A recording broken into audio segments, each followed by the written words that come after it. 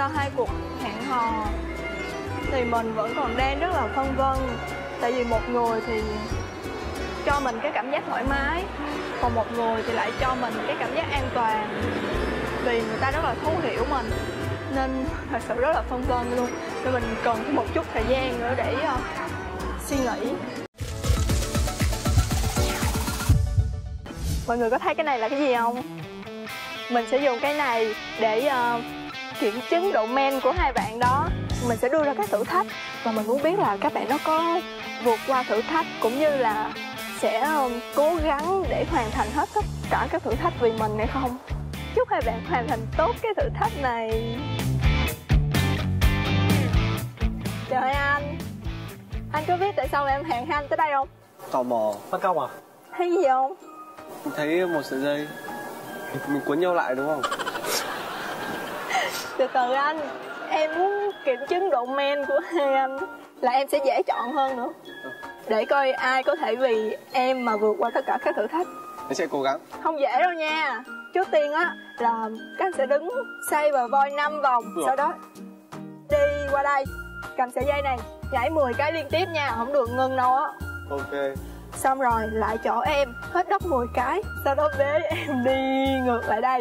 Sao mấy anh thấy thử thách có dễ không Vượt qua những cái thử thách em đưa ra thì được gì? phần thưởng là một nụ không. Lấy cái đó Đút tứ quần Anh không dùng nó đâu. Sao? Nhưng mà trước khi thử thách hai anh có muốn nói gì với em không? Nói nha. Ừ. Hey hey hey. Ui men quá vậy. Động lực. Anh? Anh là nghĩ nói mà anh chỉ hành động. Thay cho lời nói của anh, ok. Ok. Bây giờ mình bắt đầu nha. Ai á là người làm nhanh hơn thì người đó sẽ thắng một hai. Ờ anh phải cúi sát lên chứ.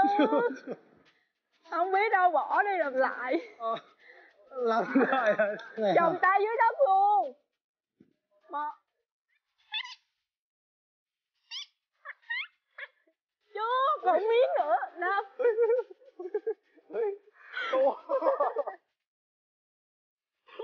Trời, như người say rượu cố lên. Mười cái. Một hai. Một trời ơi, anh giỏi nhai dây nha. Anh còn anh còn tỉnh không? Cố lên. Một. Ôi giỏi quá. Mấy vòng? Đi về chỗ cổ. Nặng không không thở nổi à kêu không cái gì? Em còn mở ôi em phải đi vòng vậy đừng cổ anh đi bậy vậy.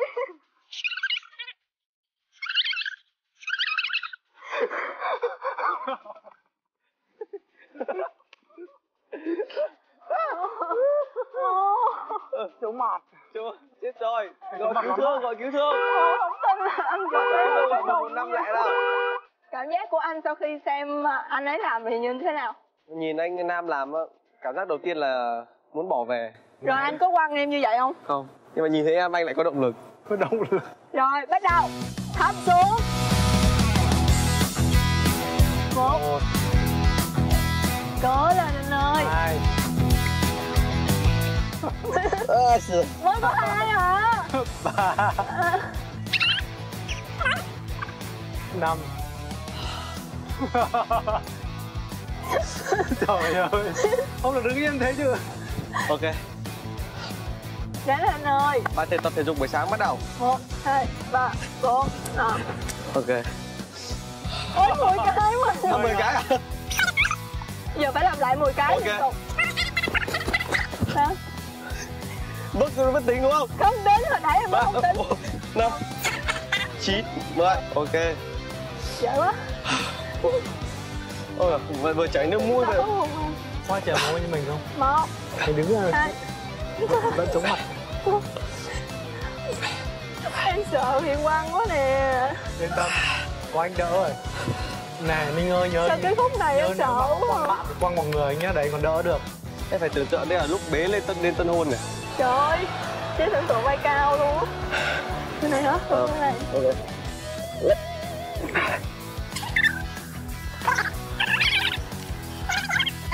rồi đúng không? Nhẹ không thở rồi à đấy đừng có quăng em xuống là được rồi. Ok. Trời ơi. Chắc là không thể nhẹ nhàng với con gái được hay sao á? Sau cái thử thách thì mình cảm nhận cái cách đối xử. Không không biết có phải là vô tình hay là cố ý mà.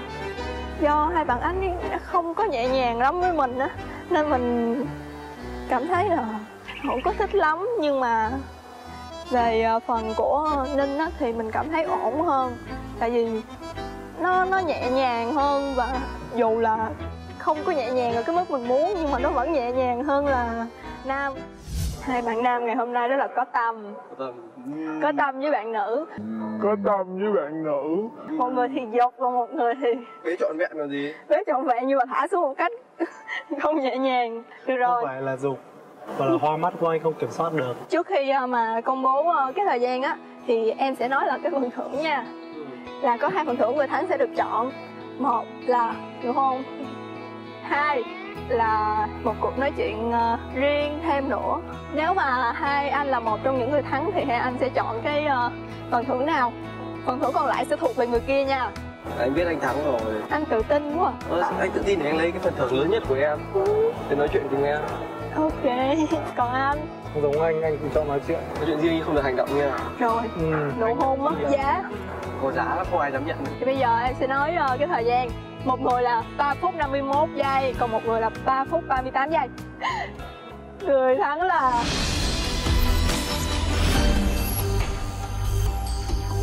người thắng là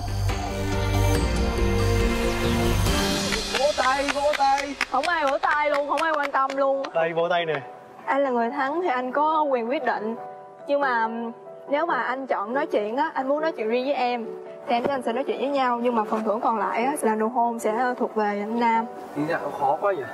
Nhưng mà thật sự là bây giờ nói chuyện là cơ hội để tiến tới với hoa nhiều hơn. Nhưng mà hôn thì cũng tiếc lắm.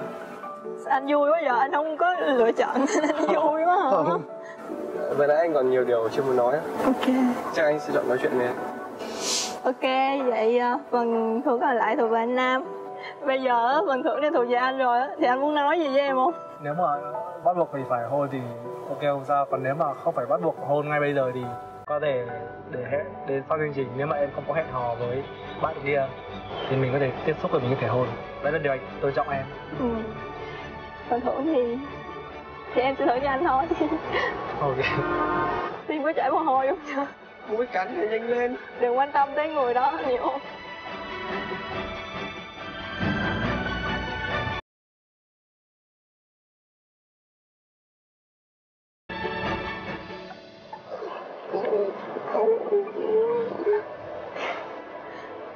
Tôi không nghe tôi không biết tôi không thấy những gì sau khi mà hôn em xong thì anh có cảm nhận gì không? Khó nói lắm. Hơi run. Tay mồ hôi này thấy không giờ em ra nói chuyện với đi em qua nói chuyện với uh, ninh đi. Thực sự là không phải ai uh, cũng chối đầy cái nụ hôn đấy mà là chắc là cả hai dành sự tôn trọng cho bạn nữ mới nên không uh, chấp nhận một nụ hôn đấy. Vì thường con gái mà thường người ta thường là người ta rất là giữ giá nên là mình không thể nào mà mình mới là gặp lần đầu mà hẹn hò lần đầu mình có thể hôn dễ dàng như vậy được. Cảm nhận về nụ hôn đó thì chỉ cảm thấy ngại ngại thôi nên chụp một cái là cho xong luôn. Em có đoán này anh đang nghĩ gì trong đầu không? Em thấy bình thường. Mặt như vậy là bình thường không ạ? Tất nhiên tại vì anh đã nhường cho người khác mà đấy anh chứng kiến anh cảm thấy buồn thôi. Thế có thể quá khứ em hôn người này người khác làm sao mà anh biết được? Nhưng mà hiện tại cái tình cảm nó vẫn là lâu bền nhất ok. Nên anh mới chọn cách nói chuyện. Chấp chứ người nhận ta tiếc lắm chứ bộ. Thì cái mặt anh vậy mà tiếc cái gì? Tiếc dạ không không thể thử lại cái được không? Vậy bây giờ anh muốn nói chuyện với em gì thì giờ nói đi.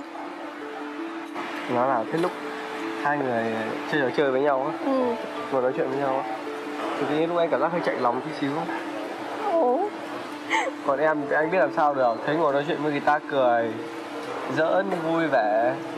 Và tặng gấu bông với nhau nữa. Hạnh phúc quá. Ủa cái đó chỉ là quá trình thôi mà. Còn kết quả nó thì sao biết được? Kết quả cho anh là người thua đúng không? Ủa em nhớ anh tự tin lắm mà. Tự tin trò chơi vừa nãy thôi chứ bình thường anh không tự tin. Thôi sao tự nhiên bây giờ em thấy anh hiền hơn lúc nãy ta? Nghĩ là sao? Anh á khi yêu ai đó anh cũng rất là trẻ con chứ không phải là người lớn như em nghĩ đâu. Anh cũng kiểu hay nhõng nhẽo kiểu mà giỡn giỡn nghịch lắm Thôi nhưng mà sao em thấy lúc sáng nói chuyện cái kiểu khác khác nha Còn bây giờ cái kiểu khác khác nha. Thì đó thì khi mà anh đã thân thiết với em hơn hiểu rõ về nhau hơn anh lại khác. Bây giờ cảm thấy ngượng ngượng hơn á. Tại buồn. Tự nhiên đẩy cho người ta xong rồi buồn. Thì đó chứ vì nói chuyện thì anh mới nói rõ này. Anh cần phải chạy lòng này thấy buồn này. Chứ vì anh chỉ hôn em một cái anh đâu được nói ra những cái điều đó đâu. Với người mà anh có cảm tình đặc biệt là anh sẽ quan tâm chăm sóc người ta đúng không? đúng rồi. Vậy em có được coi là cảm tình đặc biệt không? Tính anh rất là thẳng. Hiện tại nếu mà nói thương nhá thương thì chắc chắn là chưa được. Ok. Nhưng mà cái mà anh muốn nói đây là anh đang muốn tiến tới với em. Ok. Muốn được. Bây giờ hết giờ rồi á Một lát nữa em sẽ gặp hai anh sau nha. Ok. Bye bye. Em thấy hài lòng hài lòng khi mình chọn cái phần thưởng đó. Em có nhìn thấy cảnh hai người hôn nhau? Nhưng đó chỉ là một cái chạm hôn nhẹ giống kiểu chạm má thôi. Quan trọng nhất vẫn là phải có tình cảm mình cảm thấy cái này không thật sao á. Thật sự lúc đầu nói chuyện thì mình cảm thấy rất là rất là vui nha. Nhưng mà khi lúc sau á, mình cảm thấy có cái gì đó ngại ngại. Không biết là có phải như là nên nói là do tình cảm, có một tí tình cảm hơn lúc đầu nên nó như vậy hay không? Hay là đang diễn nữa mình cũng không biết nữa mà mình thấy nó khác khác lúc đầu sao á. Tài nghinh nó rất là hợp với mình từ cái phong cách cho đến cái tính cách luôn nhưng mà mình chưa có cảm thấy được cái sự chân thành nên mình. Nếu một khi mình chọn bạn ninh y như là mình đem phải đánh cược vậy đó. Còn ở bạn nam thì cảm thấy giác rất là an toàn và ấy đúng là người đàn ông của gia đình luôn á, rất là hiểu. Nhưng mà cái cảm giác mình nó rất là điềm tĩnh, nó không có được vui vẻ hay là hoạt bát như cái cách mà mình mong muốn. Thật sự rất là đau đầu luôn á.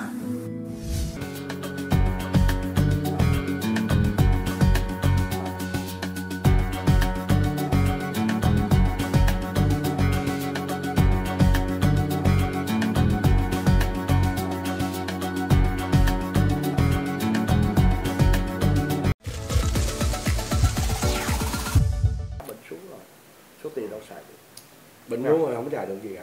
Thấy không? Nhiều khi hãy nghĩ là làm ít thôi để cho cái cái cái thân mình nó, nó còn khỏe nó hưởng thụ nữa cho được đi chơi nhưng mà cuộc sống của anh cường bây giờ là hưởng thụ được rồi. Ừ, Ừ, đúng à, rồi. à, em bé là hai mấy tuổi rồi? Đúng không anh? 20 rồi. 20 tuổi rồi. Thật ra đó ngọc lan với uh, quý vị khán giả nếu như mà chúng ta có facebook của võ nhật cường tức là của anh nhật cường đó thì chúng ta vào xem facebook của anh cường thì lúc nào các bạn cũng thấy rằng anh cường là một người rất là hồn nhiên là một người rất là dí dỏm. Và đồng thời là anh luôn chia sẻ à, rất là nhiều những cái điều rất là tích cực. Vui không à? Thậm chí là đi đó đi đây rồi đi khắp nơi. Hầu như là anh anh là trong dàn nghệ sĩ anh là người đi du lịch nhiều nhất luôn anh cường. Em em em cảm nhận được được, được điều đó. À, với lại hồi nãy anh có nói đó là sau dịch một cái đó là anh đi 36 tiểu bang. Đúng không? Đó là một cái điều mà em cam đoan luôn là chưa có nghệ sĩ nào mà mà mà lại Chịu đi vậy luôn. chịu đi cái đó là phải nơi. chịu đi chứ không phải là nói về kinh tế nữa phải là chịu đi ừ. nhưng mà mỗi khi mà anh đi du lịch á em thấy anh đi cũng có mình anh anh không có vợ con đi theo vậy thì những cái chuyến đi đó của anh á anh có cảm thấy rằng là nó nó nó thật sự là có giá trị và nó có ý nghĩa không nó như thế này khi nào mình đi diễn á, dạ thì mình đi mình dạ. Chẳng vừa diễn gì kết hợp. Dạ. Ví dụ như mà đi du lịch thật sự á, luôn luôn là phải có. Phải có gia đình. Đó, là Đó, dạ. là- vừa rồi anh đi là anh đi diễn mà Ừ. vừa diễn vừa đi du lịch. Không, cho nên là anh phải hỏi để anh Nhật Cường hôm nay anh mới nói ra được cái điều đó. Chứ thật ra là nếu mà mình coi trên tivi trên coi trên facebook á mình chỉ thấy anh tại vì anh anh anh anh ít khi show ra có nghĩa là ờ, những cái chuyến đi mà anh anh ít show ra những cái cái cái, cái show diễn. Đó. Nên nhiều khán giả cứ nghĩ là anh đi mình bỏ vợ con nhà. Rồi còn một điều này nữa là không bao giờ anh thấy anh cường buồn với anh cường đó. cái đúng không? Không bao giờ thấy anh cường buồn hết á. Bây giờ mình buồn cũng đâu giải quyết được đó cho nên bên đây đúng Đấy em là- biết anh nói điều đó nhưng mà em muốn hỏi anh nhân đây em hỏi luôn. Tại vì ờ, ít bao giờ mà hai anh em mình tâm sự với nhau. Đó thì em muốn hỏi anh cái cái điều gì mà giúp cho anh coi như là anh cải thiện được tất cả mọi thứ để không bao giờ mang mang một cái nỗi buồn hay một cái tâm tư gì đó chia sẻ lên mạng và Ừ. chia sẻ với bạn bè. Muốn dạy gì? Anh muốn dạy gì cụ thể không? Đúng rồi ví dụ như À, ừ. ví dụ như ừ, tại sao mà à, dĩ nhiên chắc chắn con người là có niềm vui và bên cạnh đó là phải có nỗi buồn. Tại vì cái điều em em cá luôn anh anh anh cũng là con người chắc chắn anh cũng có những nỗi buồn anh đang Và là cái điều gì mà- là đó đúng đúng là, không? là con người mà đúng rồi. Đó. Sợ là cười đó. Cho nên là điều gì mà giúp cho anh như là là, là, là, là vượt qua những cái cái điều phiền toái và anh luôn luôn mang niềm vui đến cho mọi người? Anh quan điểm là trong cuộc đời mình á mình có buồn cũng giải quyết được vấn đề gì. Ừ. có cái gì mình vui thì mình chia sẻ đó. Để chi để có cái tích cực hơn ta sống thoải mái hơn. Ừ. còn nếu cái gì mà trong cái sự kiện hay cú sốc trong cuộc đời mình nếu lỡ mình có thì đừng bao giờ ngã mà sụp đổ. Dạ. Đừng có giờ bi quan. Và cứu đó mình cứ phải làm sao phải tìm cách để mình tìm vươn lên và sống tiếp.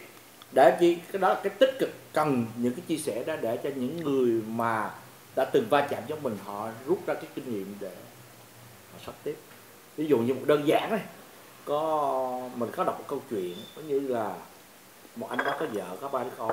Rồi rồi xong rồi vợ trong bị tai nạn chết thì tức là nó chán nản ta suy sụp mất hết tất cả rồi. Nhưng anh đó rất bi quan.